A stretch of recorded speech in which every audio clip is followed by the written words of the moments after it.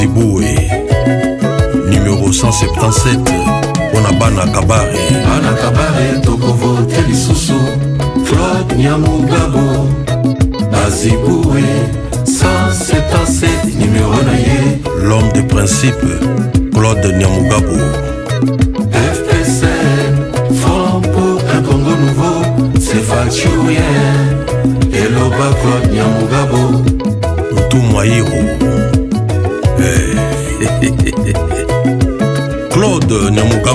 kabare tokovote lisusu claude nyamugabo bazibue 177 numéro naïe. il est l'expert dans les communautés économiques régionales FPC, franc pour un congo nouveau c'est Et eloba claude nyamugabo le professeur en droit claude nyamugabo bazibue mwana weke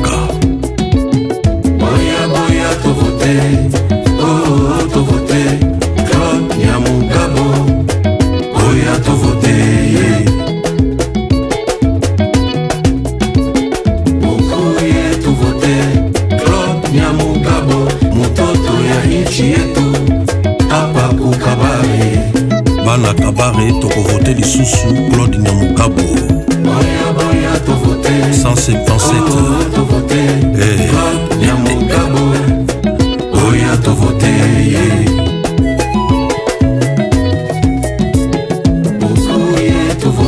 bukuye ya mugabo mtoto ya nchi yetu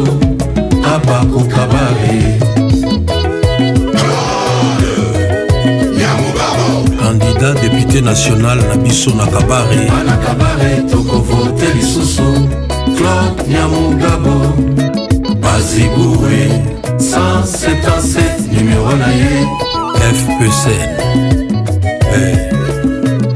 fpcn franc pour un congo nouveau c'est faturien eloba claude nyamugabo eloba claude nyamugabo c'est fatu ou rien hey. Eh.